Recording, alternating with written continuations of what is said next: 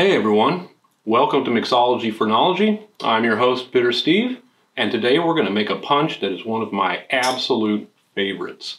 So let's figure out how to make Que Mango.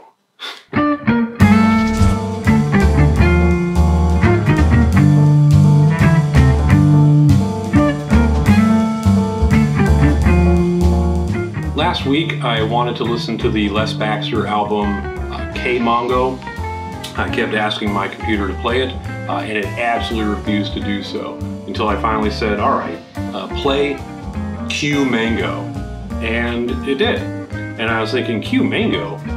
Wait, cucumber mango? That sounds like an interesting combination for a cocktail. Um, so we're coming up, we've got less than 30 days until Tiki Caliente. I actually wanted to reprise uh, the cocktail that I had done a year ago for my room party, uh, Brunch Punch, uh, award winning. Uh, but because of some issues with the weather, uh, there just really aren't any strawberries to be found. Uh, and the ones that are around just aren't any good. And so I thought this was a perfect opportunity to update this cocktail with just a different type of flavor.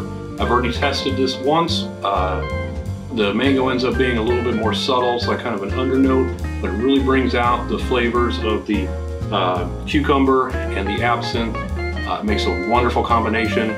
So let's figure out how we're gonna make this. This is a two-day cocktail. So if you're watching this, start now. Because um, if you need it for the weekend, uh, you gotta have a day to prep this one. All right, so let's figure out what's in this and build this up. Uh, what we're gonna be using today, we've got about one cup of brown sugar, we're using one cup of freshly squeezed lime juice. We got about a half cup of absinthe. I've got some mango here. Now, if you're if you're if you've got a very ripe mango, you probably only need to use one. But if it's a little unripe, uh, maybe throw two in there just so you can get a little bit more flavor out of it. And then a single cucumber sliced up. Now, I've sliced this fairly thick uh, because uh, you know th these actually end up being very very delicious uh, once they've soaked through. Um, but if you're serving a lot of people, you probably want to slice it a little bit thinner so that everybody can get a little bit of it, uh, especially good as a garnish. Um, and then there's two and a half cups of water. I've already put the water into our big jug. And all we're gonna do is we're gonna add all this together and store it in the fridge overnight. Just hit the 24 hour mark and wow, this looks amazing. In fact, I think we need to roll some fisheye footage really quick All right, so there's one last step here.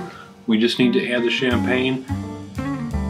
I'm using an individual bottle of champagne.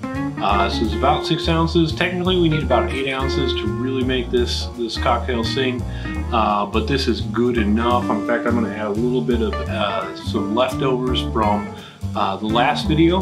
Uh, if you saw Le Poisson, also a champagne cocktail. Uh, I had a little bit left over, so I'm gonna put that in there before it goes flat. Uh, if you haven't seen it, check it out. So let's just add this in.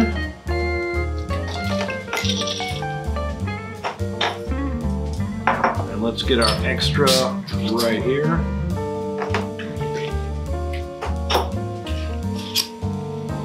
Let's just stir this up really quick.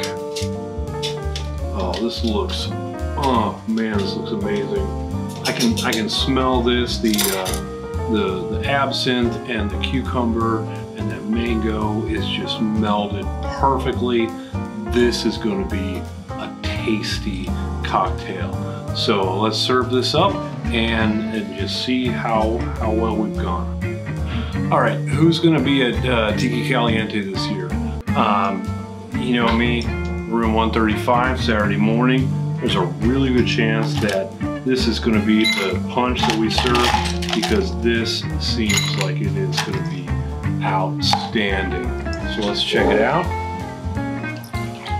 Pour a little bit. Let's get a little bit of a garnish. Uh, got some mango some that cucumber. And let's check this out. Oh, that's amazing. Uh, this was the absolute right combination. Um, it's mellow. Uh, it's got a little bit of sweetness, but that uh, champagne kind of adds to the to the bitterness there. That that crisp sour apple in there.